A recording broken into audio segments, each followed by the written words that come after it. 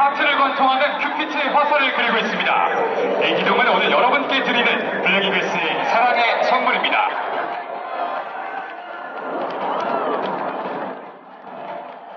계속해서 다섯 대의 블랙이글스가 정면에서 진입하겠습니다.